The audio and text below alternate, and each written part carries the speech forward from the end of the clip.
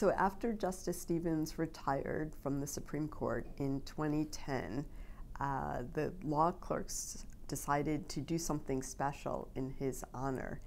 And they banded together and created a foundation. And the goal of that foundation is to support good works. And they also decided to expand a program that had started at one or two schools which is to award Stevens Fellowships uh, for the summer. The Stevens Fellowship provides two students with $5,000 each so that they could have living expenses during the summer while they perform public interest work. The idea is that uh, it should embody the public interest and social justice values that marked Justice Stevens' career. Uh, I decided to become the administrator of the Stevens program here at Chicago Kent uh, because the foundation looks for a school that has a former Stevens clerk, and so I fit the bill since I clerked for him from 1990 to 1992.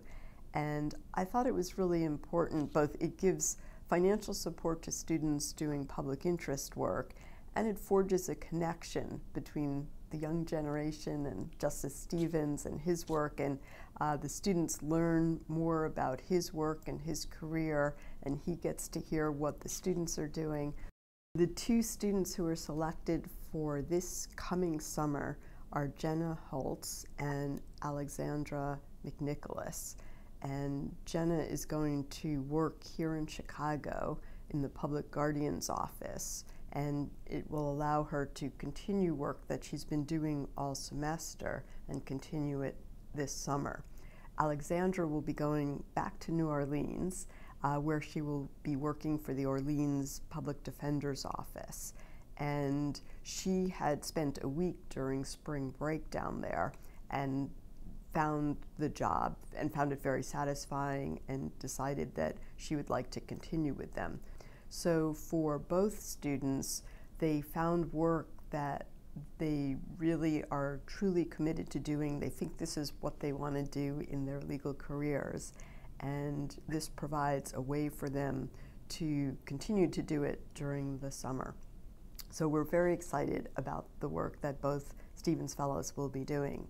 Uh, in past years, a number of the Stevens Fellows have found work in Chicago. And that's particularly satisfying because, of course, Justice Stevens is from Chicago. And so we like the fellowship. Uh, it's nice that the fellowship work can uh, be done here, but some students have traveled all, to all parts of the country.